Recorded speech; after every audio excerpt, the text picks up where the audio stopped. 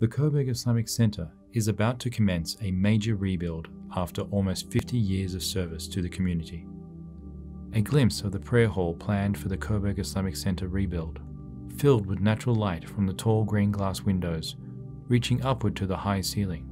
The entire space is designed for devotion and worship of our Creator. Help us realize the sublime focus of our new center by donating here.